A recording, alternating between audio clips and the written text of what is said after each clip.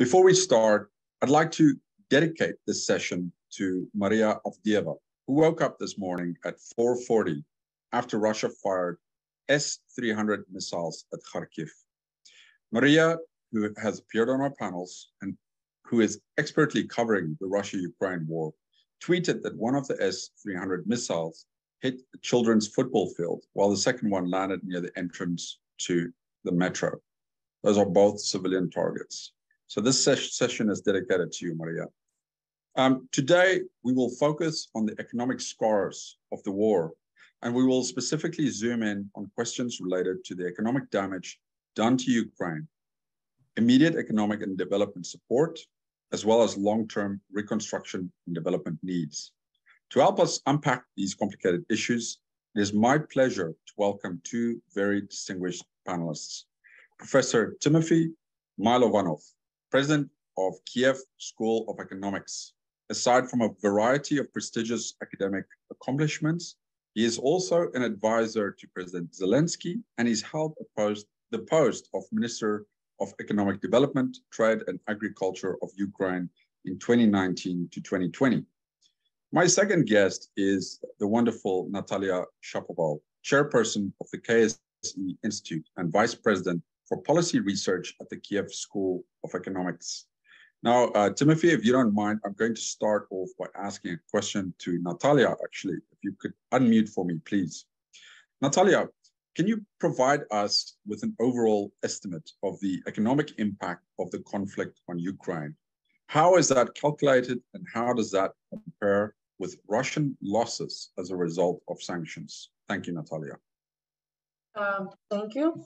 So uh, uh, as of now, the on the surface, it seems that um, uh, Russia's uh, economy suffers uh, like smaller figures of losses than Ukrainian ones. Uh, specifically, in like relative terms to the economy, Ukraine lost over the first quarter around 15% of the GDP. That's already recorded fall and the forecast is that the overall fall will be around 30% by the end of the year. Uh, in uh, Russia, uh, it's still something between 10-15% uh, of GDP loss by the end of the year. Uh, however, the uh, in absolute terms, not relative, like percentages, of course, given that Russian economy is 10 times bigger than Ukrainian, their loss is likely to be generally larger. So uh, uh, Russian economy is also suffering because of sanctions. So it uh, wouldn't be correct to say that they they are not damaged and the scars of far for them are only this 10-15% or something. Russia is losing fundamentally their production capacity of oil they are losing their largest market of uh, gas that historically were uh, about 40% of uh, their uh, uh, budget revenues uh, and basically the largest proportion of their industry. And these losses would be irreversible. Um, so that's probably for the start uh, as a short answer to your question, and please uh, direct me uh, further. Thank you. I think that was a good, uh, quick overview of the situation uh, in in Ukraine, and also compared in comparison with Russia. Uh, before we circle back to that, let's go to Timothy now. Timothy, how much uh, will reconstruction of the Ukrainian economy cost? And very importantly, who will pay for that? Thank you.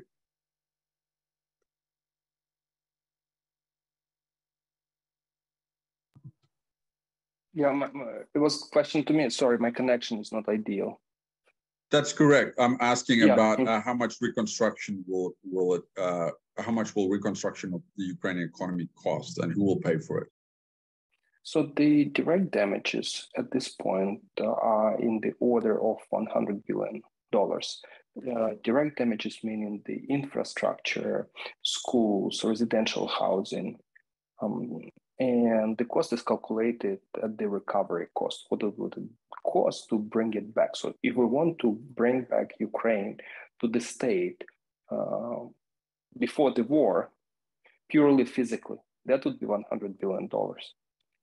That doesn't include uh, people, that doesn't include lost businesses, that doesn't include migration. That would cost even more, creating environments and paying for that. Then um, there is uh, the idea of build back better, meaning that sometimes we might not necessarily want to build the old buildings to recover it is as it was. We want to build a modern, energy efficient building. Um, then it would cost $165 billion. And now, if we want to be ambitious over the next 10 years and take into account the economic losses, the opportunity cost um, of the lost GDP, and so on, then the numbers become staggering from uh, 400, 500 billion dollars up to 750 billion dollars. And here we're not even counting, uh, let's say, the cost of the mining or the environmental impact, because uh, at this moment, about half of the Ukrainian territory, at least one third, is considered to be risky simply to walk on. Of course, the military has demined, uh, you know, the roads and the main cities. Uh, but outside of that, uh, I personally, you know, when we pull over a car on a road, we're afraid to step outside of where the car stopped because it could simply be a mine. And I think yesterday a farmer near Kiev just blew up his tractor because he ran into a mine and the environmental damage add to it so this is going to you know depending on how you you count it might cost a lot um, however you know where's the money is coming from during the war, it should be IFIs, it should be bilateral multilateral assistance. And of course, unfortunately, because that assistance at this point is not enough and it's a bit slow, and I, I think in many ways it's a big scandal. Uh, Ukraine is forced to fi- uh, uh, finance the war through through emissions, through monetary means, and that uh, creates macroeconomic risks and we have already been seeing large inflation and devaluation of the currency exchange and restructuring for the Ukrainian foreign debt. So these are these are symptoms that uh, Ukraine is needs more support. So um, after the war, or immediately or later, I think there are essentially again three sources of uh, funding. One is the frozen assets of the Russian Federation. That would be the most ethical and the most fair way to finance reconstruction by confiscating those assets, but that requires some political process. Um, then the you know taxpayers of the of the European Union of North America and taxpayers of Ukraine. Um, you can talk about different techniques, whether we want to form an agency or a coordinating platform, whether the EU should take the lead or G7 or the US. But these are details which are being constantly discussed and changed. But fundamentally, in my view, it should be Russian funding. Thank you, Timothy. Um, so, I mean, taking together what you and Natalia are saying, uh, you know, Natalia is, is, is saying that uh, Ukraine has taken a major knock. It could be as hard as 30% of the country's GDP. And then in addition to that, uh, in terms of the destruction that's happened to Ukraine, we could add um, uh, several other figures, whether it's between 100 and 500 billion uh, dollars uh, to recover, depending on how that is calculated. Now, um, I want to latch on to this last point that you mentioned, Timothy. Um, is there a possibility to actually use Russian assets to cover at least some aspects of the Ukraine uh, uh, Ukrainian economy. Uh, we know that, um, as you mentioned, uh, Russia has a number of um, uh, funds, uh, about 600 billion US dollars in foreign exchange reserves, and about of that, about 300 billion dollars is is frozen and, and, and sort of kept in, in so-called allied countries, so the US and Europe and, and Japan. So uh, my question to you is, I guess, um, uh, what are the legalities involved in using some of those those funds for Ukraine's economy, and and um, would would Russian assets even make a difference in the recovery? Thank you. Timothy, you don't hear. You're, you're muted. You're, you're muted, Timothy. Thank you. Uh, according to the Kiev School of Economics estimates, the number of available assets uh, to be frozen and later con confiscated, the, the funds are in the range of about 540 billion. And um, 350 of it is from the central bank reserves. There is a fundamental gravity to it.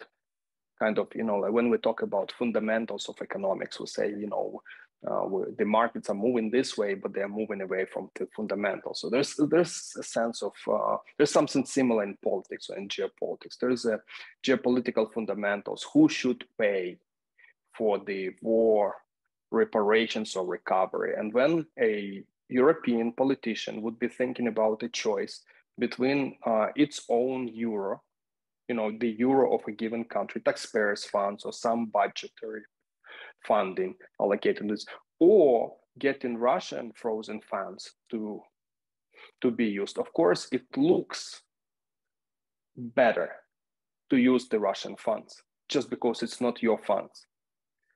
Uh, with this comes the political cost of doing this. And this political cost is especially high in the beginning of the war because Russia is nasty, Russia is making threats, uh, Russia is taking action. And at the same time, the cost of using taxpayers' funds is in the beginning of the war is lower because the fatigue is not there and everyone is engaged and wants to help Ukraine. Over time, the different weights on these considerations will be changing. It will become more and more difficult to use domestic taxpayers' funding, and it will become easier, assuming the Ukraine is going to win or, or restrain and resist Russia successfully and Russia will continue to be isolated politically, and there will be a united front among the democracies in the world. The cost of imposing confiscation, the political cost for each jurisdiction of imposing confiscation on Russia will be smaller because there will be precedents, there will be examples, um, and the influence of Russia will be smaller, uh, influence to resist that. Right now, we have Canada moving forward. They passed the legislation. Of course, all of this will be challenged in law, uh, in courts, uh, but I think other countries will follow. If we go through the formal um, court uh, legal routes, that's going to take forever because we're still um, seeing cases in courts from 2014 and many of them or from mh17 or from you know they are not being resolved uh, so they will the countries will have to pass laws and then they will be somewhat tested in the courts and then the assets will be used. I think that's possible. We will see a different world. Um, there are examples of that from uh, Iraq, uh, Kuwait uh, in 90s. So, you know, I, I, I, think Russian assets will be used for reconstruction. And yes, it will be enough in my view, because it's such a large sum, at least it will be the major chunk of the total support. Thank you, Timothy. And thank you also for mentioning that there is, in fact, legal precedent uh, to do something along these lines. I'm, I'm going to go back to Natalia now. Um, Natalia, given the ongoing Russian threat and the cost of defending Ukraine, how much emphasis should there be on linking support for Ukraine's recovery plan with a security plan? Thank you, Natalia.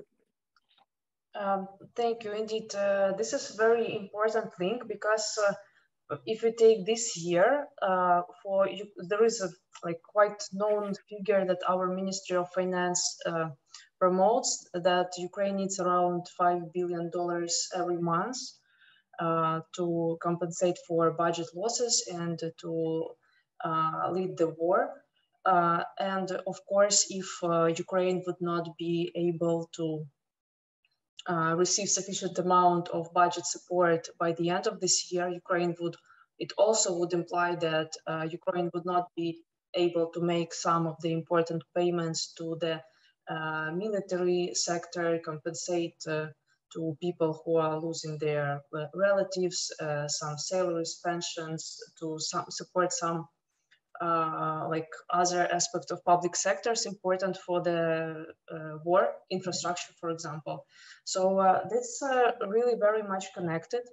Uh, and in the recovery plans that, uh, for example, our government and office is presenting, it always goes hand in hand that as part of the recovery, Ukraine needs not only infrastructure, but also you know, resilient infrastructure uh, that uh, would accommodate to the new realities uh, of living with such a neighbor, but also military, increasing military capabilities uh, and uh, increasing energy security and multiple other aspects. But uh, these three that I mentioned are the most fundamental because, yeah, it's there is first not no one knows how much the war gonna be, but it's pretty much clear that the more Ukraine is uh, prepared militarily, uh, the uh, shorter it can be. And uh, secondly, if it's not a short story and if the end of the war would not be, you know, like miraculous, uh, Russia uh, loses and recognizes that, which is really unlikely, then we still have to live with the neighbor, which still would require from Ukraine really much more uh, stronger uh, military uh, sector. Uh, and uh, yeah, th therefore that's a big part of all the recovery, uh, but probably, you know, much less talked about on open meetings about the recovery plans. Thank you, Natalia. Let me ask you a follow-up question then, just while we're talking about the recovery plan. Which, sectors are the most critical in terms of Ukraine's uh, uh, recovery? Can you expand on that for us, please? So uh, infrastructure is very critical. First, because some roads and bridges are connect like connecting cities that were and localities that were disconnected due to the war. Uh, and uh, uh, a lot of like really huge amount of roads um, something between 10 and 15 percent uh, are destroyed and they are not useful for uh, the uh, kind of leading neither business nor effective military engagement in the long term. Um, so secondly, it's also some public sector aspects like healthcare, because specifically in healthcare, the level of damages is very, very large. So out of uh, uh, a little bit more than 3,000 hospitals, more than uh, 600 hospitals were destroyed. So that's a very large proportion. And uh, it means that some of the uh, parts of uh, Ukraine really don't have access to basic um, healthcare. And thirdly, it's uh, energy sector. Firstly, because uh, the war uh, is coming. And uh, uh, secondly, uh, and yeah, so why the war is coming is a factor is because Ukraine also was dependent on Russian gas. Yes, we had contracts with other countries, but still we were importing gas from Russia. Uh, right now, Ukraine has all the chances to uh, enter the new heating season with zero imports, but that uh, would require really significant uh, investments in uh, different aspects of transfer to uh, to like reducing um, use of uh, energy for housing, for example. So changing some technology, uh, this uh, isolation of buildings, etc. Uh, some uh, quick modernization of the energy infrastructure. if it's not happening, then still there are. so if such investment would not come on time, um, and it's very highly probable that they are not coming on time, then there will be other needs for to prepare for the uh, winter, uh, like mm, and like also gas for emergency purposes uh, or coal for emergency purposes uh, or you know, other solutions that would help people that might lose supply of um, heating and hot water because of the military interventions.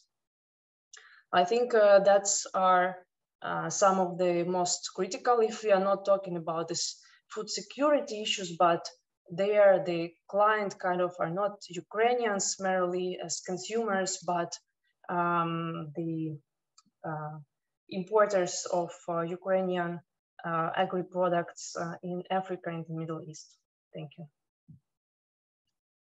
Thank you. Uh, I definitely want to ask you a follow-up question later on on this issue of food uh, insecurity. But um, uh, uh, so basically, the main sectors, as you mentioned, uh, infrastructure, healthcare, and then the energy sector are, are, the most critical at this point. We haven't even touched the issue of the education sector that's been pummeled also in the process. Um, but let's first turn to Timothy again. Um, Timothy, we've heard about the amount of money involved or anticipated for the uh, reconstruction and recovery of Ukraine. What can we do to make sure that the funding gets to where it's supposed to go? And here I'm not merely referring to issues re related to accountability of, of Ukraine or Ukrainian authorities, but also uh, uh, perhaps when we're talking about that it doesn't just go to donor sal you know the, the the, the, typical salaries of, of the World Bank and the IMF or, or whatever the case may be. Thank you, Timothy. Yeah, let's start with an example. Um, I am both employed by the Kiev School of Economics and by the University of Pittsburgh. If I were to be on a project by the USAID through the University of Pittsburgh to, let's say, help with advising of the government of Ukraine, I would be paid about 1,000 to $2,000 per day because it's a risky area, it's a war theater, there is insurance uh, and all kinds of overheads and liabilities. But I would just be paid that much myself for a, a risk because uh, even in the peacetime, I would be paid as a consultant from the US, I would be paid $1,000 a day for Ukraine in Ukraine at the KSE, because it's war, because we are fighting for our own country, we kept our salaries. And now I'm getting 50,000 hryvnias, which is less than one, uh, $2,000 a month. So that's your 30 times differential between me being employed through KSE and me being employed through a US institution. Of course, there is an issue of accountability and corruption and transparency and efficiency and responsibility and fairness. All those issues are present, and uh, the weaknesses or the issues which were there sometimes get cured by the war, sometimes they get exacerbated. Uh, corruption is in many ways cured because you know uh, we don't want to see a military or territorial defense lynching uh, people who are corrupt, uh, but we have seen cases no, there was there was a video recently when uh, um, some Ukrainian police officers were charging ten dollars bribe for something at the checkpoint, and the military just came and in a vigilante way arrested them. And you know, so I don't think there is. Uh, uh, that's anecdotal evidence, but also by talking to politicians, I think the corruption of the cash in politics is gone for now, at least, because people are simply afraid that they will be killed you know, by those who by, by the people once they find out. On the other hand, you know, the questions of efficiency and competence, they sometimes and due process and making decisions properly and prioritizing and, you know, they get, uh, you know, they get blown up during the war. They become even more severe. Now let's let's let's move back or zoom out and simply uh, separate the process in three functions. One is we need to mobilize funding. Before we even talk about the funding, we need to mobilize it.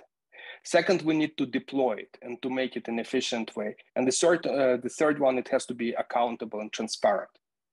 All three functions at this point are lacking.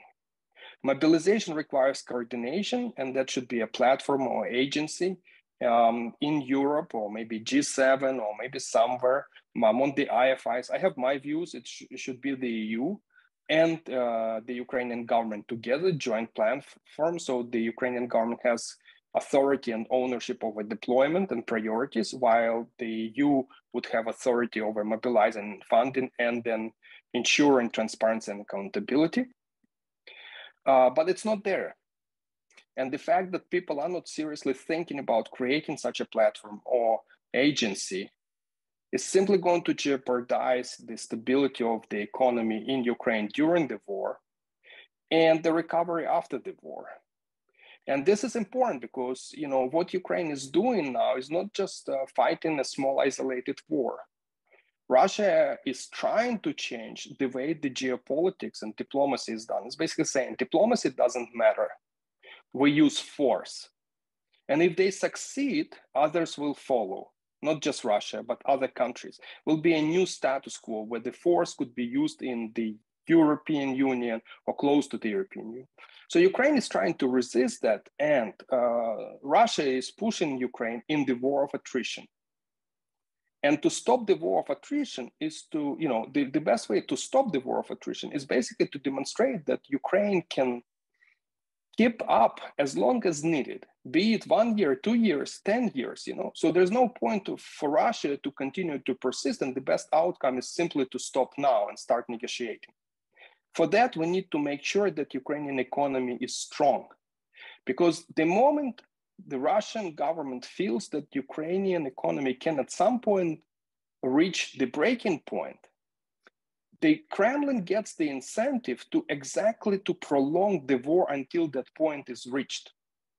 So we really need to get our act together, create this coordination agency, and start financing in a proper, efficient, and transparent way the Ukrainian economy so we can stop the war earlier. Thank you. Those are some great points, Timothy. Um, I'm going to turn to Natalia again, um, and feel free to also piggyback on some of those issues. But um, I'd, I'd, like to hear from you. What is the importance, Natalia, uh, of the uh, of sorry, what, what is the impact of the conflict on Ukraine's energy sector. You, you made some references to it earlier, but I was wondering if you could expand on that, please.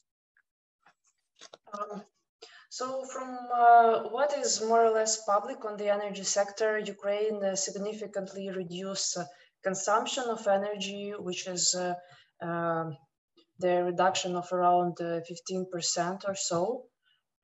Second impact is, of course, that the uh, energy uh, infrastructure has been destroyed. Uh, our estimate, which I consider quite conservative, is around 2 billion of um, damages in the energy sector specifically.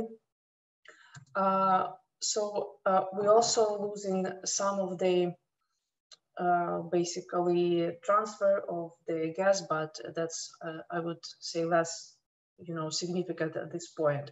So um, Ukraine also lost uh, some production capacities, uh, like which is gas extraction, uh, also for, I think this is around uh, between 10, between 5 and 10% the reduction of how much Ukraine can extract. So more or less, it means uh, this reduction in uh, supply, but also reduction in uh, demand means that with uh, um, decrease uh, consumption and more effective consumption, which might mean, you know, like lower temperature at homes for several degrees, Ukraine might in principle go through the winter season. but beyond that, there is important process in parallel, parallel that Ukraine uh, electricity system, uh, basically in parallel with uh, Russian aggression, get very actively integrated into European energy system. And already now we have first contracts where Ukraine sells electricity uh, to uh, European countries. And uh, we like perceive that this process will only increase. Thank you. Thank you. Uh, yeah, those are some interesting figures also uh, in terms of the energy sector, which is so vital also to having a healthy economy, which in turn also impacts, of course, uh, uh, you know, uh, the what happens on the battlefield to a certain extent. Um, you mentioned earlier also, you made a reference, Natalia, to the to this food crisis, and I'd like you to also expand on that. What will be the impact both on Ukraine's economy and, or let's say, on Ukraine and Ukrainians, uh, as, as well as on the world with this with this food crisis? Should Ukraine lose total access to the Black Sea? What's the importance of that? Um, so before the war, uh, Ukraine was uh, using uh, ports infrastructure for uh, 60 to 70 percent of uh, its overall trade. So you can imagine that uh, losing it is kind of losing really a lot.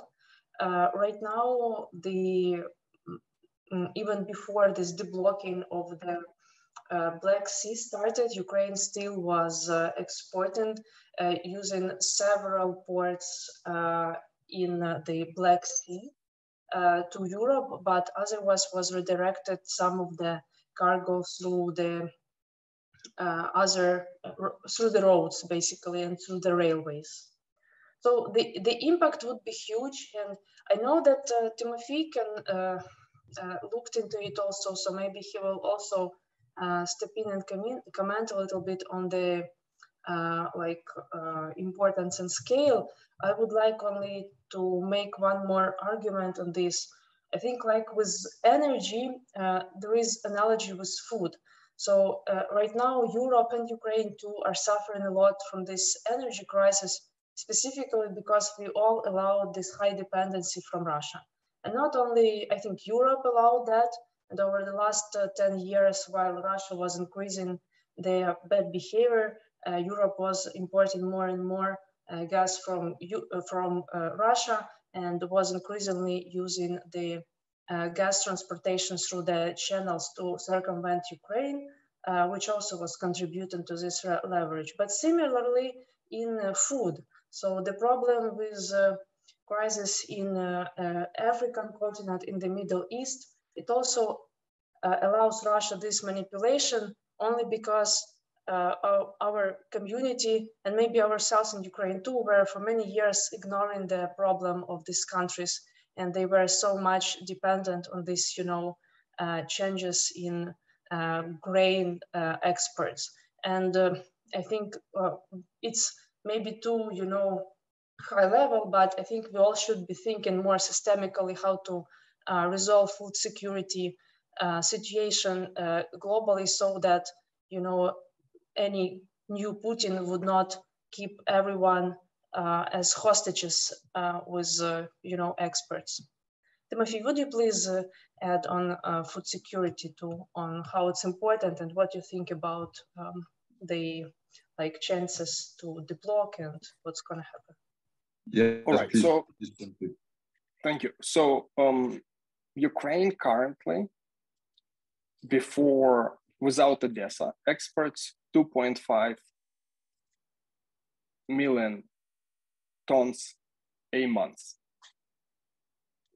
1.5 goes through the Danube River. Before the war, it, it was able to export 5 million tons. So this 2.5, it's already increased the capacity to the extent possible because there've been investments. So it's it's um, it's 50%. But realistically, if we consider the hypothetical scenario, you know, I don't think it's going to happen because the, the, the Ukrainian troops and the Ukrainian people will fight tooth and nail. But in a parallel reality, in an alternative world, imagine Odessa, you know, would eventually not be deblockaded that basically means that Danube would also be threatened.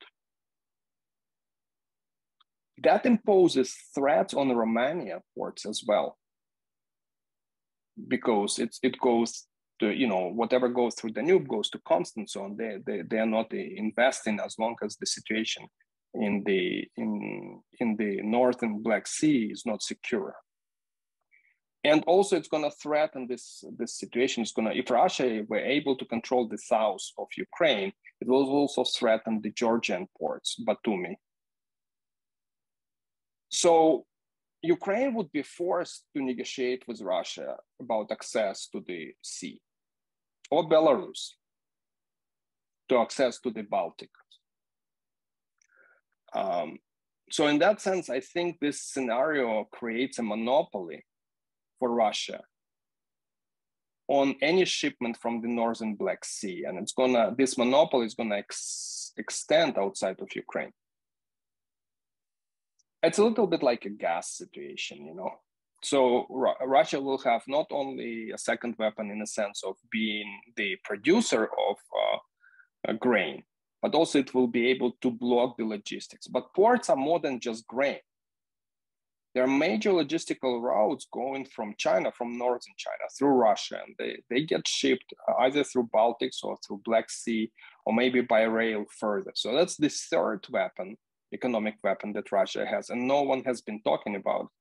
Essentially, if Russia can destabilize the entire region from the Baltic Sea to um, the Black Sea, it will be able to destabilize supply chains, for some of them, some of the supply chains from China to the EU. It's really a big deal. And I think people are underestimating its importance. If Russia also gets the south of Ukraine, it will be encouraged to get control over the Baltic Sea in the next 10, 15 years. Because once it get, gets access to the Baltic Sea and to the Black Sea, then it will be in the control of the all shipment routes between Asia and uh, Europe, uh, except those routes which go outside, way outside through the oceans. So the economic and strategic power of Russia will increase substantially. Uh, that's, I think, what's going to happen. So it's not going to be just a Ukrainian situation. It's going to be a major logistical issue for everyone. we'll see what happens with energy. We can imagine what happens if they control the entire region uh, logistically. I agree with Natalia that the in the longer run we should start thinking more, and Russia is actually forcing us to think more um, in terms of resilience of each individual economy. And you know maybe um, we have to take more seriously the uh, competition authorities in the EU uh, when they were, you know, they have to be more serious about ensuring that countries like Russia uh, do not create opportunities for themselves to abuse their monopoly power. Um, so I think that's what we are looking to. And we need to resolve the food security issues, uh, maybe using modern technology, uh, new innovation in, uh, in agriculture to make countries more self-reliant eventually. Yeah. Thank you, Timothy. Those are great points and, and really added value to what Natalia also said earlier. Um, I have a ton more, a ton of more questions for both of you, but um, before I ask some of those questions, if time allows, um, I'm first going to turn to two of my colleagues, Professor Mary Kaldor and Dr. Luke Cooper, uh, to make a brief comment, to make some brief comments and ask uh, a few questions to our panelists.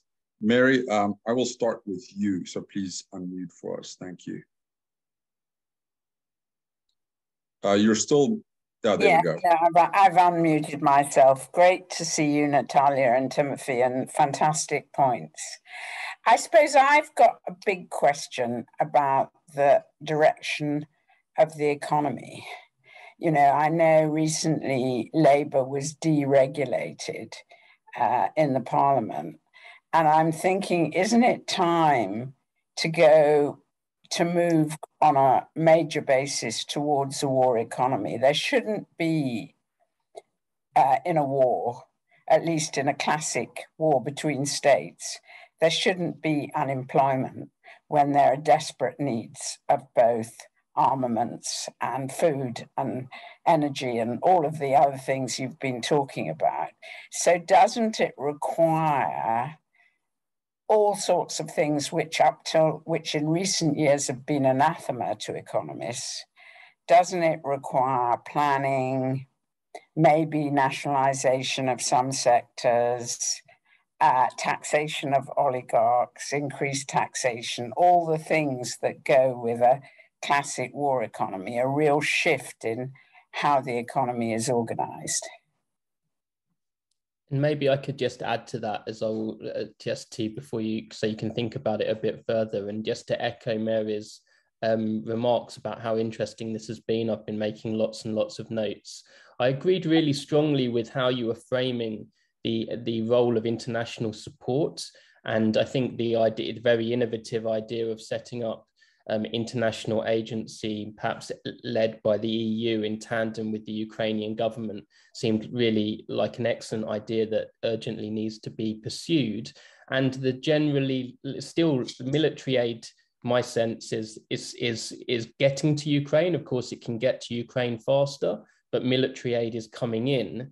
But it seems that the international community, and in this context, of course, we tend to mean the International Monetary Fund, aka the very wealthy nations that have the capacity um, to support Ukraine, the international community is still being slow to get the urgent economic aid to support Ukrainian uh, social infrastructure into the country. And perhaps I think still treating this like a normal um, economic crisis that Ukraine is experiencing when it's clearly not a normal economic crisis.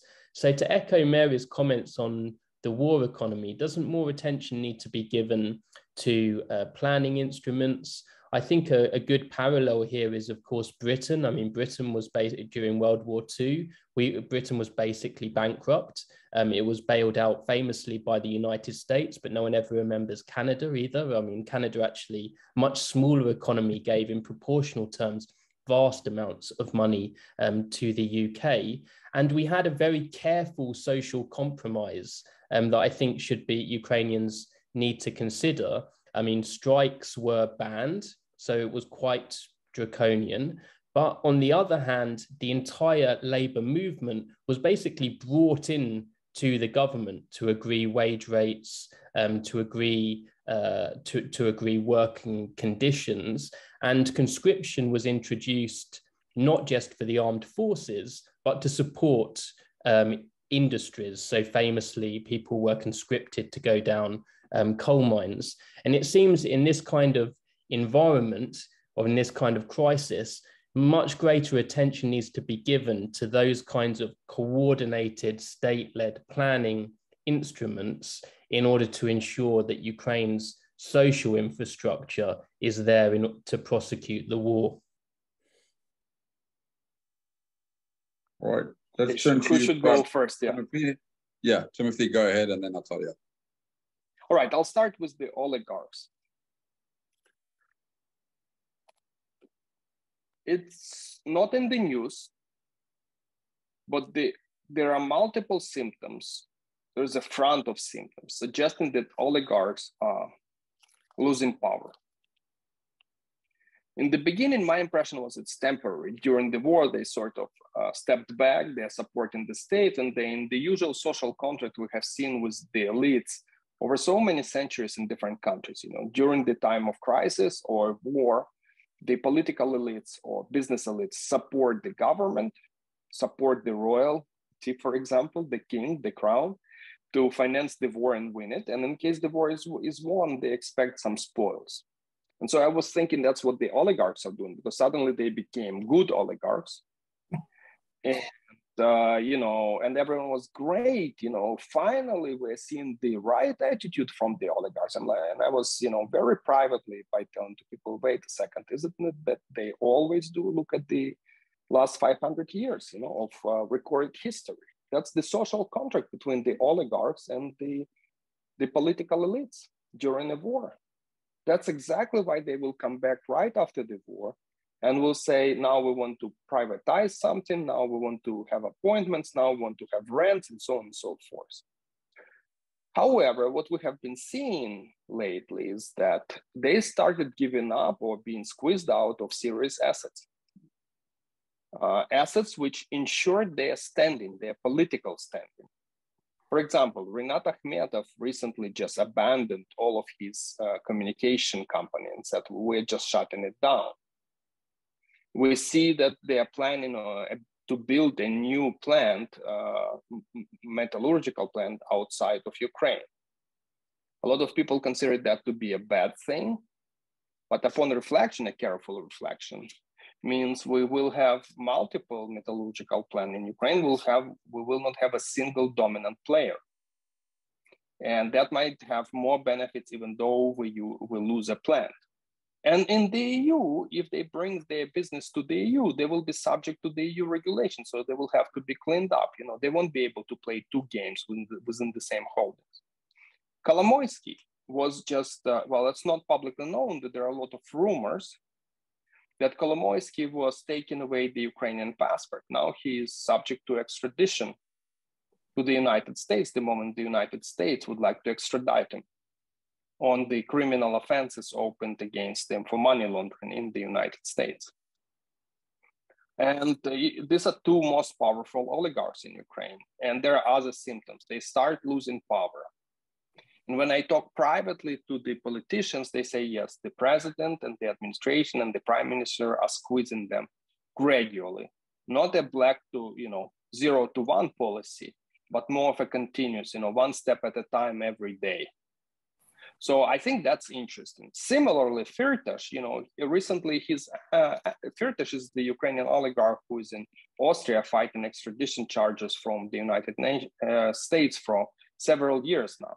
Uh, he owns a lot of gas distribution companies. These companies have been nationalized. That's again not in the news, not publicly known, but a lot of these assets have been confiscated on the grounds that these assets either have been leased or privatized illegally, or they have partners from Russia. So therefore, we are actually seeing these forces that the government is stepping in, nationalizing businesses, ensuring uh, jobs, and kicking uh, oligarchs away. This is everything, Mary, you have said. It's just not being announced as a policy, but it is happening. And it's not happening, you know, tomorrow we announce a new government policy. It's more every day a little bit. So there's a power struggle inside Ukraine, I think, about these new policies, but they're happening. Now, the concern, of course, many people are raising is uh, will not we lose a lot of private sector during this process? But since this appears to be hitting really oligarchs, I think those fears are not justified. Now, on the coordination uh, of the international aid and on the speed of arrival, yes, it is slow and it's a bit of a scandal. Even the IMF, you know, it, uh, it's just not a normal time. It's already even in the peace time. We would be considered right now facing a macroeconomic crisis because we just devalued our currency by 25%. We have more than 20% inflation, and we have a running uh, budget deficit of maybe maybe five or maybe very uh, could very well be 15 20% by the end of the year you know it depends and one third of our budget deficit we are financing through printing money. So this is qualifies as macroeconomic crisis, and the IMF should be here already with the program. And they're not even thinking about the program. They're not even starting to write it up. And that's not a peacetime situation, it's a military, it's a war situation. So the, the macroeconomic crisis is much more serious potentially. So they just don't want to deal with that they don't know how to deal with it or they don't you know don't want to deal with it. But that's a problem and i think everyone should be screaming at every corner about this.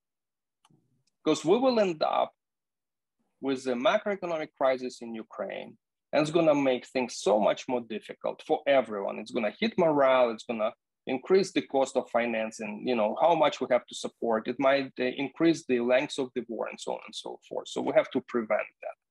So these are my comments Thank you, Timothy. Um, let's go to Natalia, and I'd be very interested what you have to say about Mary's uh, comment about perhaps nationalizing certain sectors and, and uh, some of the other ideas. Timothy left uh, a difficult one. Um, so uh, that's a very interesting question. And uh, uh, when the war started, we really were thinking a lot how to do exactly what Marie said, how to shift the economy to this war uh, mode. Um, what I think now, I think uh, as of now, most of the economy that could be could have been restructured or used for military purposes, mostly, maybe not everything, but is already there. For example, um, military forces nation, like nation seized, nationalized. I don't know what the legal mechanism is there, but they took, for example, uh, storage, refrigerating capacities some production capacities uh, of the businesses uh, to use them for military purposes. And uh, that's already uh, going. Then there were other types of like interventions, like price regulations uh, or agreements with the uh, market participants that something gonna happen certain way. For example, when the war uh, started, there was a lot of coordination between the government and uh, uh food producers, food uh, distributors, and with gasoline produ producers and distributors, with retailers. Uh, so something of that became like formal regulation of prices, but, but something was really some kind of other kind of intervention. Right now, uh, what we observe is that uh, there doesn't seem to be deficit of supply of something. So maybe for military purposes, there is deficit. We want to produce HIMARS, but we can't. And it's uh, no matter how our government tries to make someone do it, it will not succeed. So that's kind of another kind of question where current economy, like nationalizing, doing something would not help. But in all other sectors, we don't have like uh, major supply issues uh, for internal economy. Uh, what we do have, we have problems on the um, like side of demand because some people are not able to pay for the goods, for rent. Uh, they, they, they lost incomes, they lost, uh, uh, some became disabled. So that's uh, kind of an actual question of the economy, which requires probably other kind of solutions. So as of now, I, while I was uh, like advocating for this idea from the very beginning, uh, I don't uh, even see potential where government can do something else and not to make more damage than get benefit. In principle, yeah, they can, you know, create workplaces and put people who are unemployed to work there. And in principle, this is good idea. This is very specific intervention. But then why it's not happening is because it's it takes enormous capability to do something like that, right? You you should be as smart, but uh, 1,000 times smarter as businessman to create something like that. So uh, I still I, I still think there is potential for these active labor market policies and some like job creation, whatever it means, or some policies, you know, building something for internally displaced or people who lost uh, uh, houses, uh, but these are specific interventions rather than you know whole scale going to the uh, military economy. So that that's how I would answer. But that's Thank very very good question. Um,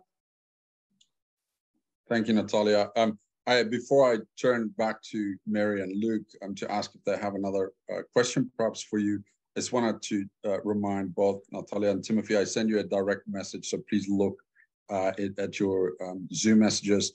Uh, Mary, would you like to ask another question? Well, I'm very aware that we only have five minutes left. Yeah. Okay. And I okay. think there was a question from the audience about higher education. There and uh, since we're working together with Natalia and Timothy to try to help sustain higher education, seems like a really good question that we should end on. I uh, thank you so much Timothy and Natalia for your answers to my question because I think that's really fast it's really fascinating.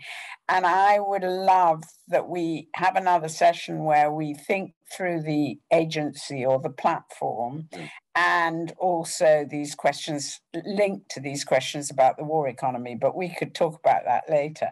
But in the meantime maybe we should end with higher education yeah, let, uh, um, let me ask one or two follow-up questions to both panelists if they have another minute, uh, uh, you know, related to these questions from our audience, because we do have a lot of great questions.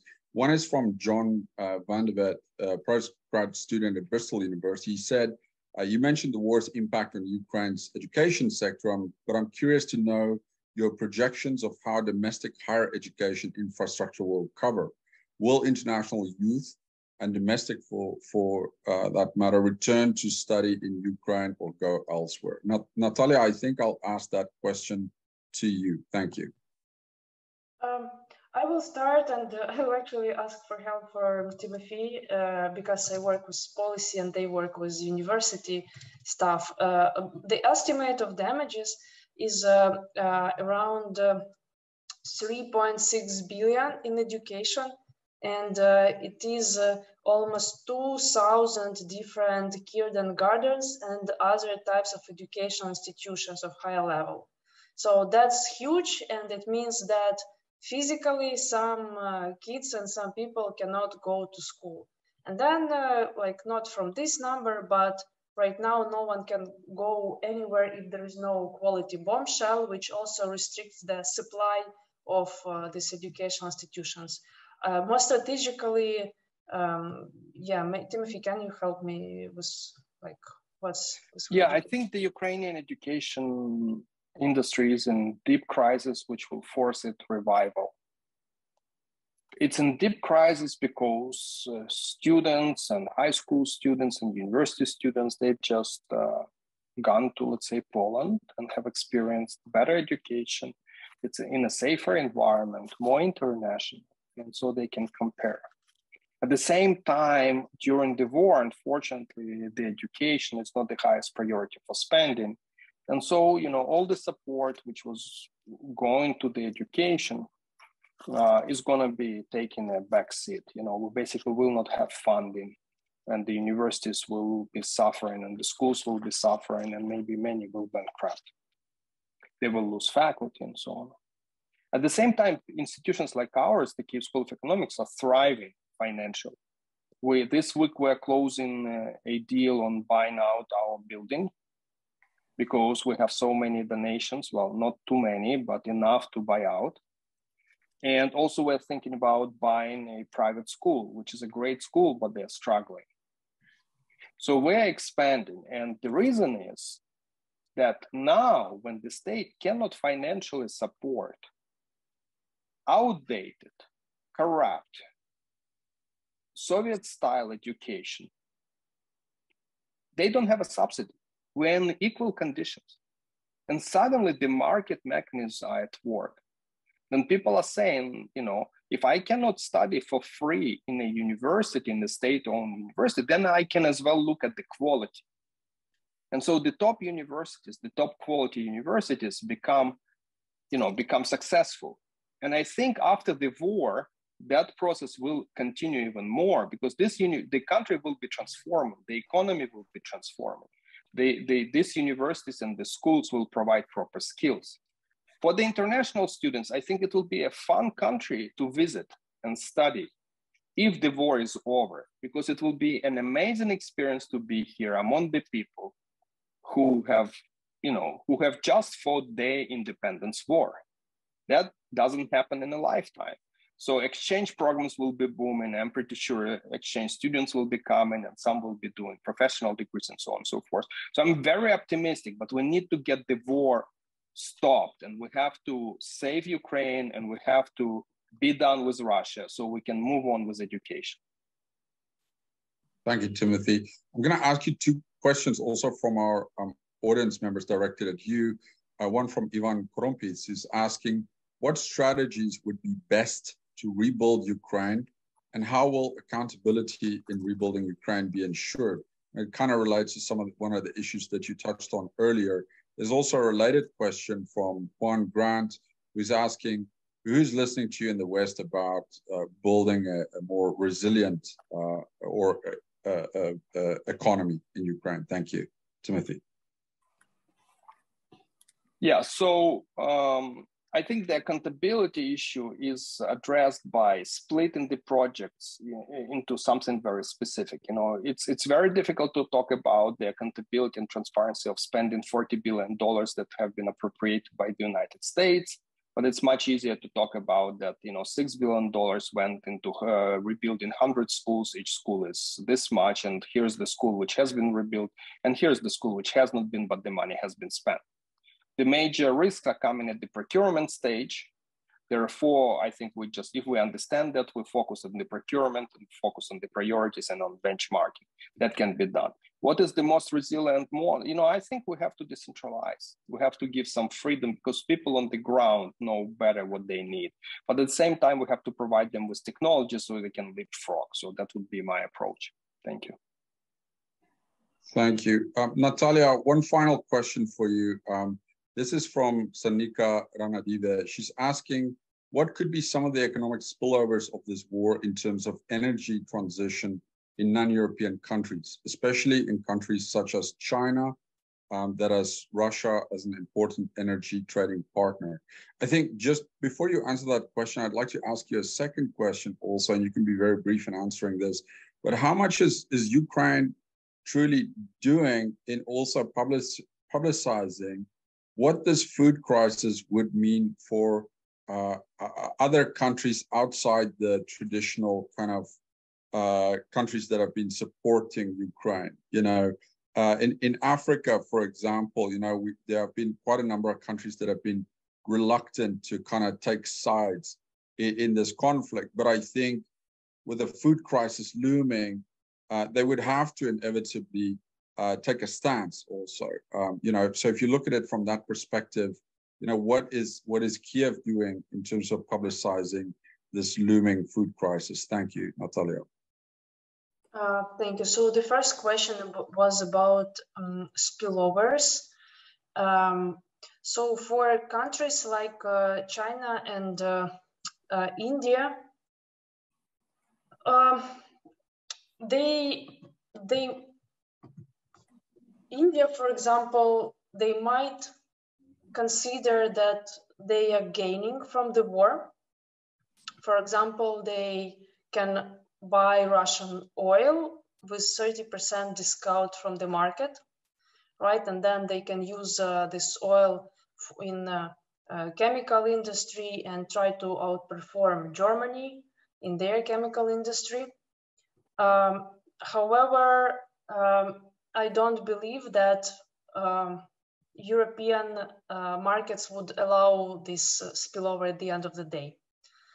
So that's uh, first argument. And uh, second, uh, I think it will end up with just China and India having more, and Turkey actually also in this uh, part, they also buying more from Russia now.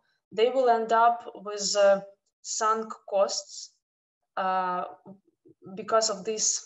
You know, so they're trying basically their strategy right now is to buy out from Russia what others are not buying at lower prices.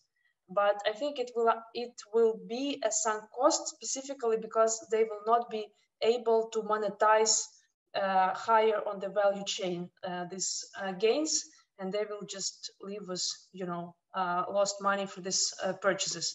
With China, of course, this is totally marginal expenditures and uh, they have bigger agenda. I think uh, all this uh, is uh, creates a little bit more headache for them because they need to, for this uh, nice, you know, uh, restructuring of supplies from Russia to China, they need to change infrastructure. So it's rather headache.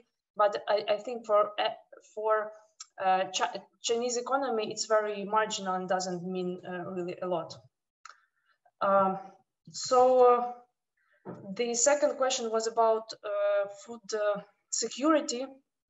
Um, so I, I think uh, I think the government of Ukraine is really promoting a lot this problem, and they could have been alternative, right? So they could have not even using this wording about food security in other countries, but they uh, do so. So they start from others outside of Ukraine suffering, so let's help them.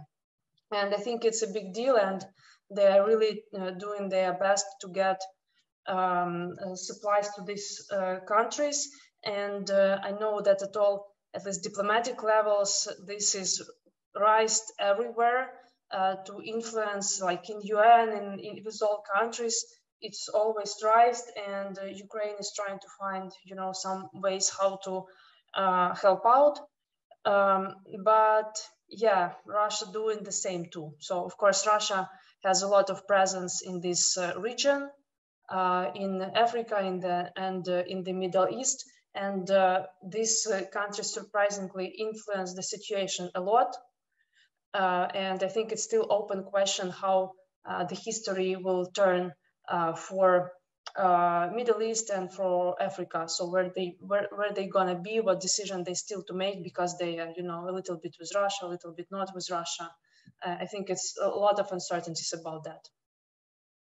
Yeah, important point. Of course, uh, while Lavrov is visiting uh, a number of African countries at, at, present, so it's a diplomacy versus diplomacy issue here.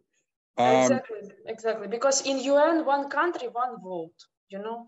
Yeah, yeah, ultimately, yes. Um, I know we've run out of time. I know there are lots of further burning questions also from our audience members, but I do have to let all of you go. Uh, Timothy and, and Nataliia, um, I, I, really enjoyed the synergy between the two as uh, two of you as panelists. You've really complemented each other um, extremely well. Um, I think the timing of this discussion is also important as we're asking more questions what can what else can we do to support Ukraine uh, and and and and uh, you know starting to think more and more about uh, some of the long-term implications of uh, this conflict on Ukraine's uh, development. It's it's inevitably going to affect all uh, of of your strategic development goals going forward for, for, for the medium to long term. So um, uh, thank you so much for contributing to this debate. And I hope to have both of you back on, on the uh, Russia-Ukraine dialogues at some point again in the future. Thank you also to our audience for tuning in. And, and Mary and Luke, thank you for your contributions as well. Um, see you all soon for another Russia-Ukraine dialogue. Thank you.